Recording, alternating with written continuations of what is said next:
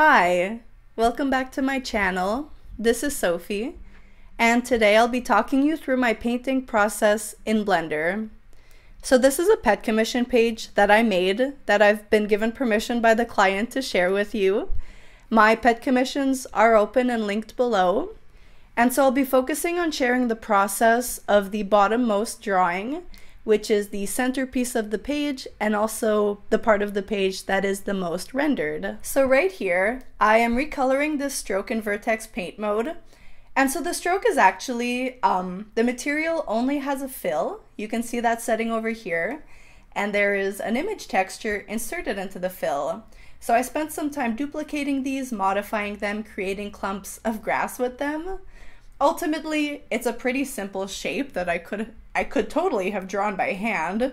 Most of the textures I add are a lot more complex, but as you see me now, drawing strokes by hand, I really enjoy the variety of combining different methods, both hand painted strokes and image textures that I add and then modify. Ooh, perfect timing! So here I'm adding a very complex image texture this is clearly a drawing that I downloaded. It's in the public domain, so free to use. Sometimes I use images like this in my pieces and they are visible in the final piece. But in this case, I just used it to add more texture to my grass, a sort of collage vibe. So I've sped up most of the drawing footage because today I really wanted to talk through how I use the different grease pencil tools. But I do have a Patreon and I've also uploaded a real time version of all of this footage if that's something you would like to see. I've linked that below as well. And so here, I'm about to go into edit mode. I turned off auto lock and active layers because I wanted to select from all of them. And then I selected a specific area of my piece and in sculpt mode, nudged it just a little bit. I use sculpt mode to nudge strokes and move around areas of the piece all throughout my workflow. I find it so helpful. Ooh, okay, so I'm about to do it again here. Wait for it. Ah, so satisfying. So as you can see on the left, I'm experimenting with a new way to show which keys I press. I've improved the setup since this recording.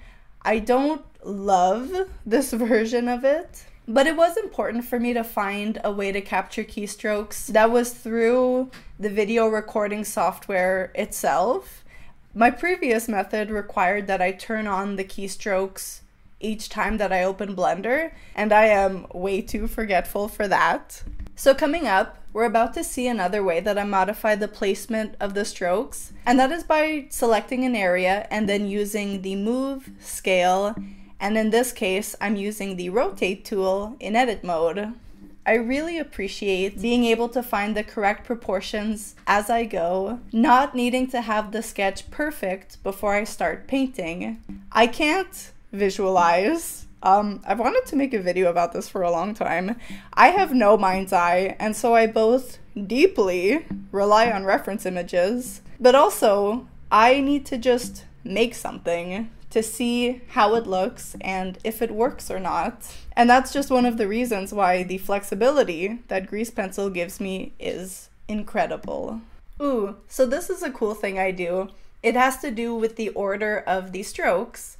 So in my quick favorites, right at the top, I have move to front and send to back. And so here you're seeing me draw strokes, and so they appear at the top of the stroke stack. And then I send them to the back and then we can see the lovely fur texture of the chest area, which I spent so long working on and getting the strokes just right. We can see them clearly and beautifully over the dark areas, over the shadows that I add and then send to the back. It's been really helpful for me to learn about color and light and to study the way that light bounces off objects and onto other objects. And I really love shadows because the areas that are in shadow that aren't in direct light they get light from so many secondary light sources, from all the light bouncing off of other objects and into those shadows. And so I'm really having fun with the white fur here. My painting is of a dog in grass, so there's a lot of grass greens reflected in it. There's also some sky blue in the fur, and also some of the warmer tones that we see in the original photo since in that the dog is lying in a bed of wood chips, I think. You can get away with a lot when it comes to color, and I just love vibrant and colorful artworks. Another trick I like, watching this now made me think of it, although it's not really what I was doing here, but I was just desaturating some of the dog's red brown fur. And so I've learned this trick that there are two ways to desaturate a color. The first is that you can add gray to it, or just like a less saturated version of that color, or you can add that color's complementary color.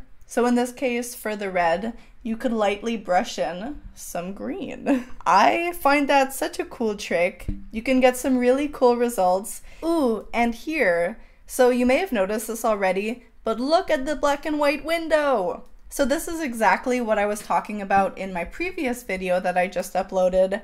I just, I love using this trick to see how far I've come in this painting session and to see how my painting is taking shape. It is so motivating and so encouraging. So these satisfying strokes are on their own layer, a mask layer. I'll link some videos I made about layer masking. And so I am basically erasing parts of my drawing by drawing into the mask layer. Very cool stuff. Here, I'm using the eyedropper tool in draw mode.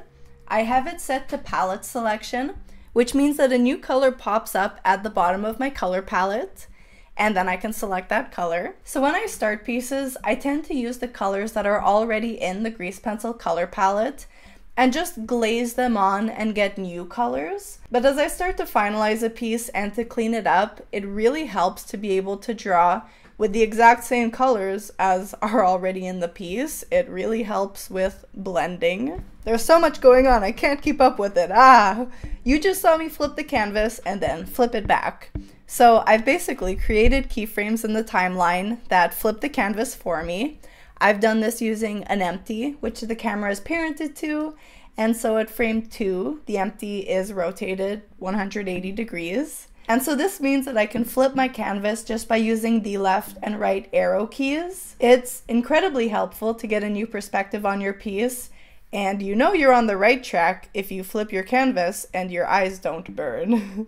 it's a really good thing to be mindful of, and I'm surprised I didn't do it more in this process, to be honest. That was the only one time I caught the canvas flipped shame on past Sophie. I, I usually try to do it at least two, three, four times throughout the painting process. So we're getting into the finalizing portion, which is a lot of very minute changes. And so I thought it would be helpful to share me going back and forth between exported versions of my image. I think I'm really figuring out how everything in the page is tying together. And so this kind of comparing back and forth between different export versions is also something that I really like to do, especially very often later on in the piece. Wow, look at me modifying those proportions literally when we're at the 90% mark of the piece practically being done, and I'm like, wow, that tail not in the right place at all. So I hope this has been helpful. I get asked a lot how I make these kinds of pieces in Blender. And as for how to make something look rendered like this, it's just a lot of tiny, tiny, tiny, tiny strokes. But I do get genuine surprise that I'm able to make this kind of art in Blender. And I know comments like this come from a good place. I get comments like, this proves it's the artist, not the tool, which is a sentiment that I agree with, but I wish I could get across that grease pencil is not a subpar tool.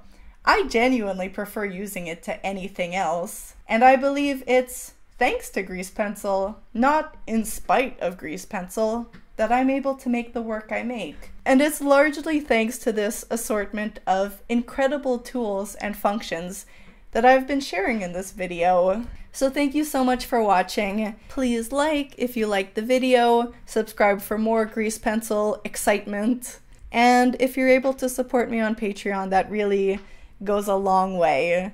But no matter what, thank you for being here. I hope you have a nice rest of your day.